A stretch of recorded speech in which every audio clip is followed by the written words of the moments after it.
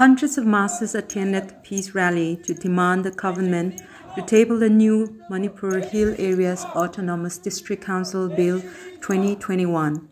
The rally is organized by Tangkhul-based CSOs in Ukhrul Down. The masses raised slogans in support of the new HAC bill and calling on the government to hit demands of the Hill people. Until the new ADC bill is tabled, the Tangkhul CSOs, including Tangkhul Nagalong, Tangkhul Katamnao Saklong, Tangkhul Shanaolong, Tangkhul Naga Long, and Tangkhul Mayar Long, are determined to continue with the agitation, and if need be, they are ready to intensify their protest.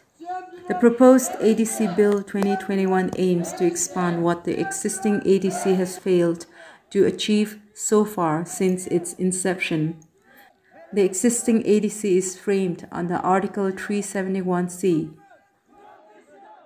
Mention may be made that the ADC is in place in Manipur since it gained statehood in 1972, wherein the hills come under different administrations from the Valley of Manipur. Elysium!